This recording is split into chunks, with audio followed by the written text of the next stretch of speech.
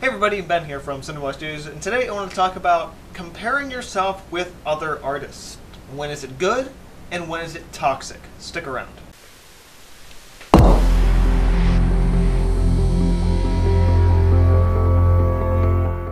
So every artist of every skill level is going to sort of naturally compare their work and their process with other artists. Now this isn't always a bad thing, but at a certain point, when you're doing it, it should never feel crippling. It should never feel like, God, they're so good. Just why do I even bother?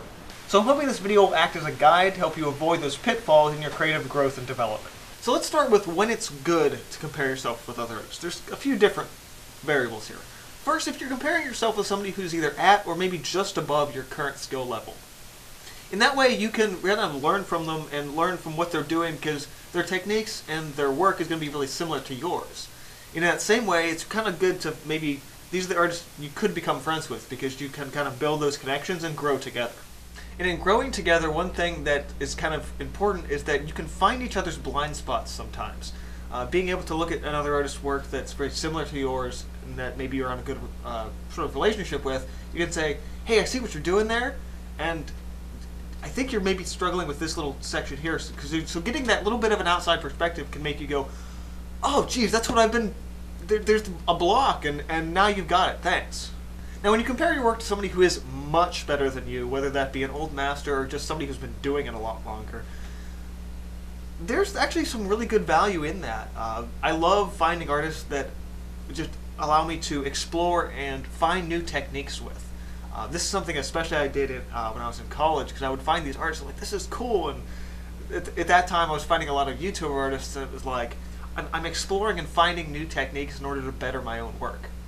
And in that betterment, you get that inspiration to keep going, to keep trying new things and, and to try new and different things. Another thing with artists that are better than you, especially now artists online, is that you can't be afraid to ask how something is done because a lot of times artists want to tell you how they did it.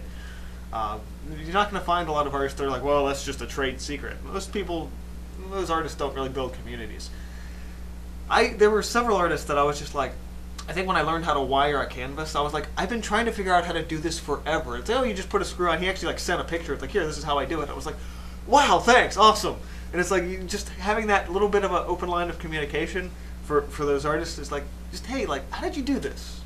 And that's awesome to be able to, to look at a work, uh, look at a, a or a technique or something, and then have that direct line where you can just be like, yeah, keep going, try it out, you know, try it for yourself, and that's that's an inspiring thing.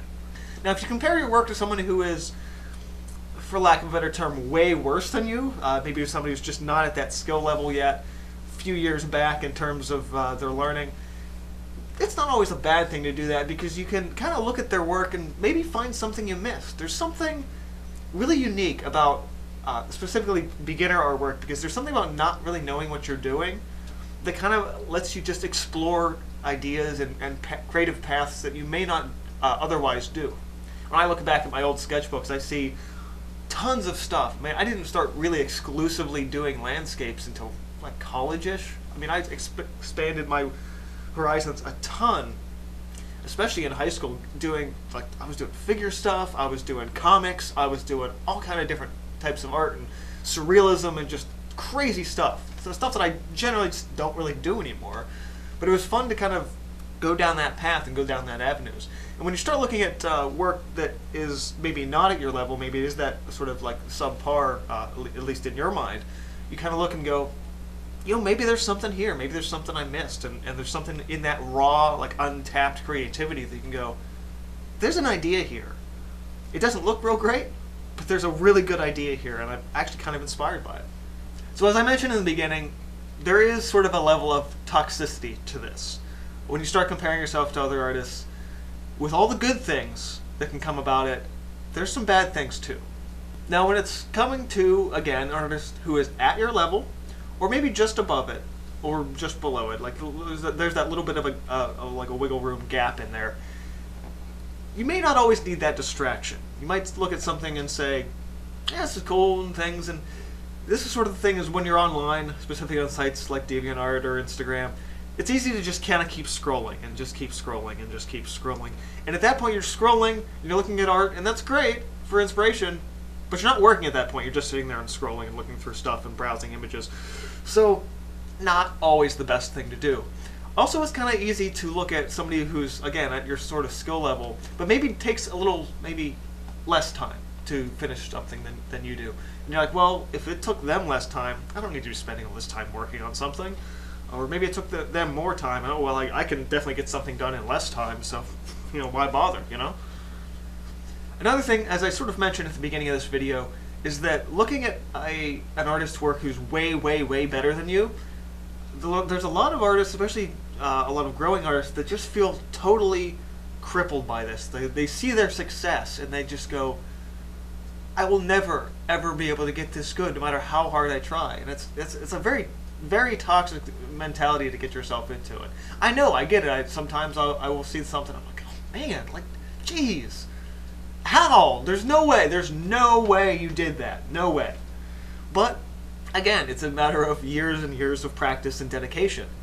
That mentality, if you let it kind of really build in your head and sort of fester into something horrible, that's one of those things that actually can make a lot of good artists stop working. And that's really a shame because it's not something that you can get yourself into and, and keep yourself into in that way.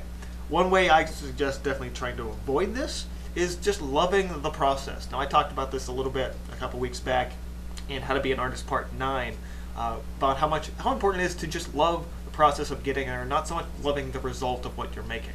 Uh, and if you can do that, then I can guarantee you uh, the idea of they're so better I shouldn't even try, that mentality will never cross your mind again. And the final toxic moment is when you look at artists who are not as good as you, who are worse, as I said. Again, don't really want to say that. Those are the, the ones that aren't as skilled.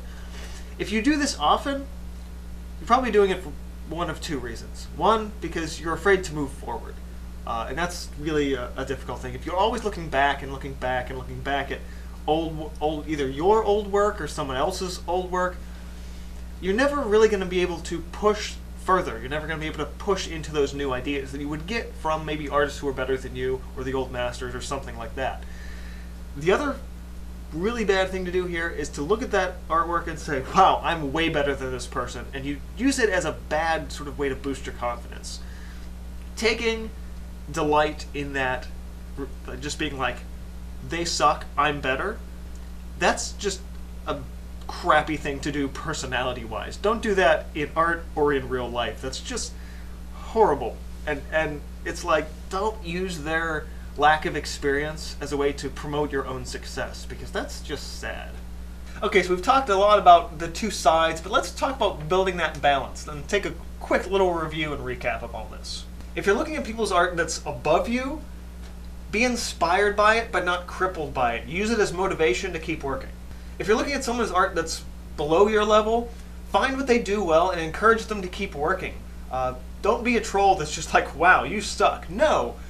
Use as a way to be like, wow, you've got you're onto something here. And when you build that level of lifting them up, they might come to you as for looking for favors later, just the way you're probably looking for artists to look up to and look for advice from them. It's just a big chain of a cycle. It's important when comparing your work that you're not comparing apples and oranges or even like apples and steak.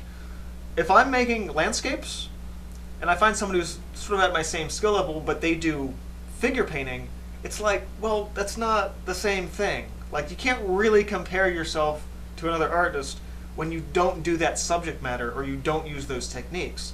So it's like, well, yeah, their stuff's different and maybe a little better because their entire mental process for working is just different.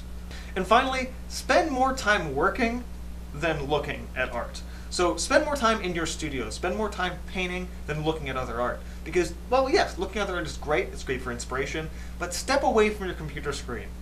Go into your studio and work. Uh, the more time you spend in front of a screen just scrolling and scrolling and scrolling, chances are the more depressed you're going to feel. Get in the studio and work. Don't just sit there and scroll through other people's stuff. So what about you guys? Do you are you stuck in these toxic pitfalls, or have you overcome this and you want to share some advice of your own? If you have anything to say, leave that in comments below. Consider supporting on Patreon if you're able to. Hit that like button, get subscribed if not already, and this has been from Cinder Block Studios, and I will see you guys next time. Also, if you guys haven't checked it out yet, and you do want to scroll through some art, check uh, the description box below for my Instagram account. I opened it up a couple weeks back. Really kind of enjoying the platform so far. I'm not posting finished art, but I've got a lot of sort of in progress studio stuff, just some weird, wacky studio stuff, as well as just some photographs I've been taking. So be sure to check that out as well. Okay, I gotta not bend my knees because this is this hurts a little.